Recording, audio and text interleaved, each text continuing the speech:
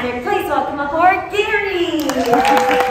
Cruising on Disney is like no other cruise that I've been on. And so the cruising tips that normally work for me on most lines didn't work on Disney. So here are 13 things that I stumbled across, mistakes I made, that if I had known, I would have had a much better cruise experience on Disney. I'm Gary Bembridge, and I really want you to know about them so you can have a great Disney cruise. Disney is a themed cruise. Be ready for it because there's no escape once you're on board and immersed in that Disney kingdom. Whilst mo most other cruise ships are floating hotels, this is very much a unique Disney packed kingdom at sea. Disney magic is weaved into everything the decor, the entertainment, the food, the cabins. Pretty much everything is Disneyfied. One thing I would recommend you do though is go on the Art of the Theme tours. They run multiple times across the cruise and I recommend if you can actually even going multiple times because each different cast member that runs them as they call them they tell you about the different things that interest them, but they tell you about the design, where hidden things are. It really is quite fascinating. And long-time Disney cruises still go back time and time again because each tour has a little different spin on it. And they keep going because they keep discovering new things. Now, as Disney is a fully themed cruise, in my view, it's absolutely best for people that love and know Disney or are going with someone who does. And increasingly, by the way, you also need to brush up on your Marvel and Star Wars universes because they're being weaved in. I missed out so much because I didn't know enough about Disney. For example, at Rapunzel's royal table night where I had one of my dinners, I didn't understand the show. I didn't know why it was a birthday party. Things like that I just didn't appreciate. When I went to the Frozen deck show, I didn't really understand who the characters were and what was going on. So bear in mind, you do need to brush up on your Disney before you go to get the most out of it. There's something even more important to know before you go. Disney Cruise Line travelers are incredibly dedicated, fast moving, and efficient. I moved out by not understanding that. People zoom in, they lock down anything that can possibly be booked as soon as they can, especially dining, activities, events, excursions. So when these things go on sale at one minute after midnight Eastern Standard Time for a cruise, people are online booking right there and then. So importantly, access is based on your past cruiser status. So for example, I was a first time guest. I could only start booking 70 days prior to the date of my sailing. I actually left a little bit later than that and by the time I went in, many things that I really wanted to do, like excursions or some of the tastings, were booked out. Now, concierge guests, it's kind of the suite guests, Platinum Castaway Club members, they get double that amount of time that I got before sailing to go in and book. So if you are desperate to do something specific, you need to move quickly as soon as that window opens for you. The next thing I discovered is that you absolutely need to be tech savvy and have a smartphone. Download the app because Disney has pretty much no paper on board. Even in most of the restaurants, I needed to scan a QR code to look at the menu. Everything pretty much happens on the app. All your bookings, your bill, times to meet for excursions, the daily program, everything. So you need to have a really good smartphone, know how to use it. And it is actually pretty hard to find out what's going on without the app. When it comes to packing, there's something that I had underappreciated even though I knew about it. Basically, there's no real dress code. You're able to go to dinner even on formal nights in shorts and t-shirts if you want. Most of the locations in the evening for dining are what they call cruise casual. Themed deck party nights are a different story and Disney guests totally embrace them. Now, you don't have to dress up for those themed deck party nights, but having a nod to the theme is a really good idea, whether it's pirates or whatever. Now, we had a frozen night and many people dressed up in outfits linked to the various characters from the film. There is, by the way, the one formal night, one semi-formal night where you can bring out your kind of your blazers and your gowns. A lot of people did that because they wanted the photographs, but again, it's not enforced. If you want to wear t-shirts and shorts, you can. If you're going into the adult specialty restaurants like Palo, I had on Disney Magic, or Remy on some of the other ships, it's really important that you do have to wear something smarter. Many people, by the way, on the cruise wear Disney merchandise. They wear Mickey Mouse ears day and night. So to feel part of the atmosphere, you may actually want to bring those along too. The other thing that I'd unappreciated but soon discovered is that Disney cruise ships do miss some of the things that I normally expect on a cruise, so be ready for that. So, for example, there's no casino because gambling is supposedly not within their family friendly policy. However, they did do bingo, which is gambling, and they actually let kids play it if they're with an adult. So, you know, they do actually have gambling on board. There is no drinks package, again, which you used to on many cruises. Again, I guess linked to the adults family thing. So you buy drink by drink, and many people find that really ramped up from a cost perspective. The other thing which they didn't have were enrichment programs with talks, which I have on many cruises I go on. I was traveling to the fjords, I kind of expected that, but there were no talks about the area. So be ready for some of those usual things to be missing. The next key thing that I think is important is around cabins. Now, I personally, I'm kind of obsessed with cabins anyway, so I'm quite picky about the one I choose anyway. But on Disney, I found this to be even more so.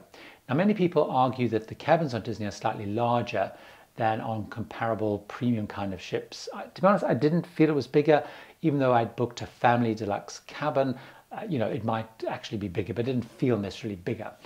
But the more important thing on Disney ships is there are a lot of cabins with interconnecting doors. And I would strongly encourage, if you're traveling without kids, to choose one without an interconnecting door because if you've got four or five people in the next cabin, it could be really noisy. I mean, I could even hear the family in the cabin next door to me a bit, and I didn't even have an interconnected door.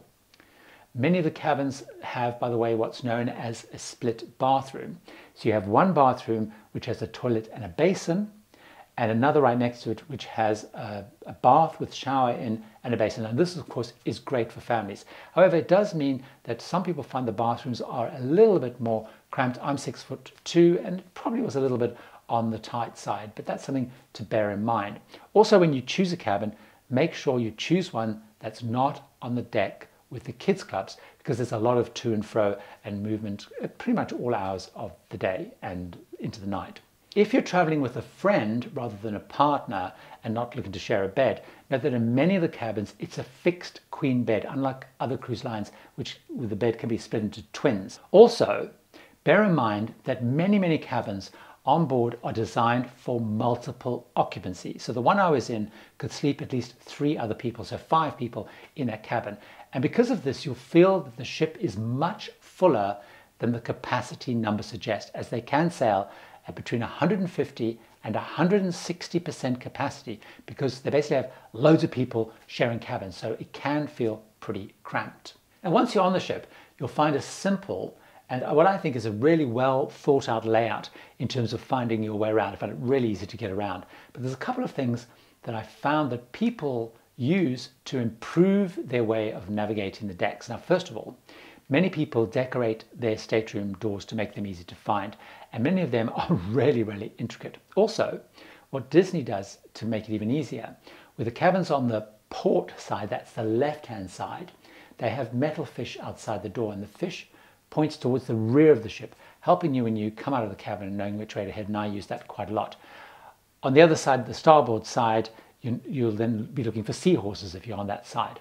The carpets, they feature a compass which has lots and lots of stars in it. And the pointy part of the star is pointing towards the front of the ship. So there's lots of little things there to help you find your way around. So use them.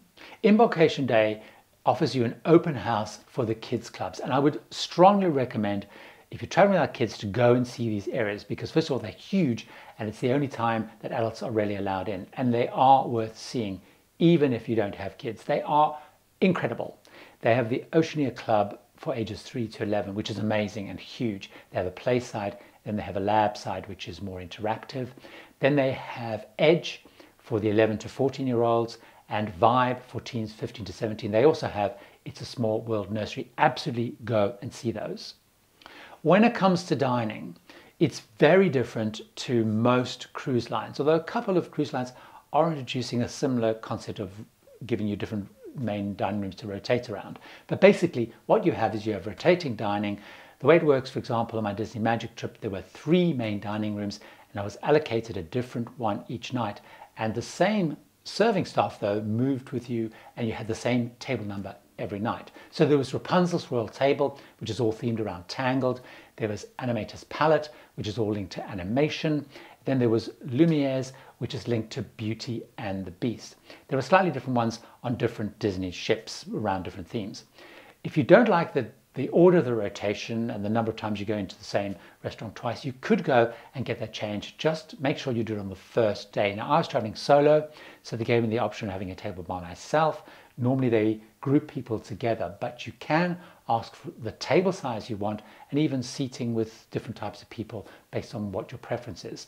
What they don't have is they don't have open seated dining. So you either must choose early or late dining. Late dining is a really good idea if you're traveling with adults, less kids tend to be in there. You're also, though, limited on alternative dining, which I did actually find an issue. On other cruise lines, the buffet, which is called Cabanas on Disney, was closed at night. It was, you know, it didn't open at all. Uh, on other cruises, when it's open, it's not a buffet though, it's a sit down menu. There is other informal dining like Pinocchio Pizza and Duck Inn Burgers. Though only the burger place was open in the evening and it's not a particularly great place to eat in the evening. Room service though is 24 hours and has no extra charge. But pretty much you're locked into those three sort of show type restaurants. There are characters everywhere you go, so be ready for them. They're at the sail away, end of cruise party, deck parties. They literally pop up all over the place. Now people queue for them day and night when they do the meet and greets, as it were. But what's great is you can take photos with your own camera or phone and the crew will actually do that for you. If you want a more professional option, you can. They offer extensive photograph packages. I thought they were pretty costly, but everyone I spoke to said they were great value because you can get you know, hundreds and hundreds of photos for one set price. Individual photos cost me about $20 each. In terms of Wi-Fi, the Wi-Fi is expensive. It cost me $210 for seven days. But on the plus side, it was way, way better than many people had said I was able to stream, for example. I was traveling as a solo adult, and one of the things that was pushed to me was the importance and the amazingness of the adult only areas by fans of the line. Now, personally, I didn't find them quite as I'd expected. It wasn't so much a ship within a ship for adults as I thought. It was, though, a place where you could dip into, you could retreat from the full on Disney experience, and that was a plus. Now, the adult only area facilities and activities were interesting because although they probably do have more dedicated adult only areas than many other cruise lines, in fact, I think probably any other cruise line, there were some limitations to them. Now, without a shadow of a doubt, one of the best areas is on the pool deck with Signals Bar and Cove Cafe. They really enforce that uh, in terms of being adult only. The gym, the spa, especially the restaurant are also adult only. After dark area after 9 p.m. is available for adults. There are three key things in there. There's Fathoms, which is like a cabaret lounge, Keys, which is a cocktail piano bar, and O'Gill's, which is an Irish themed pub. Now, you also get some adult only activities like martini mixology, chocolate and champagne tastings, some adult cabaret, some adult game shows, some adult trivia. Uh, but again, that's pretty much after 9 p.m. at night. The one thing I probably disliked the most about Disney revolved around gratuities, and I think you absolutely need to know about this. People warned me about this. They warned me that the crew would keep pushing for good ratings and tips. So what actually happens with the gratuities and what do they do that's very different? Now, towards the end of the cruise, you get this piece of paper which tells you how much auto gratuities have been taken. In my case, it was $14.50 per day. There were then little tear-off slips which named each of the key crew members that I've encountered or worked with. So, you know, the, the server, the cabin steward, and then printed on it what their share of the gratuities would be. Now, the idea is you tear those slips off, you put them in an envelope, which they provide, and you hand them to the crew member. Of course, they already know how much gratuity they're getting because it's a formula. So I really felt that there was a lot of pressure on me and other guests to give extra tips. And I found that uncomfortable. And I felt that the crew were kind of knew this and they kind of lobbied for it. But be ready for this. If you found all of these tips really interesting and you want to know more about Disney cruises, watch this video where I talk about some key fears that I had, including one thing that people accused me of before I went on the cruise and what I discovered once I was on that they were right, it did actually happen. See you over there.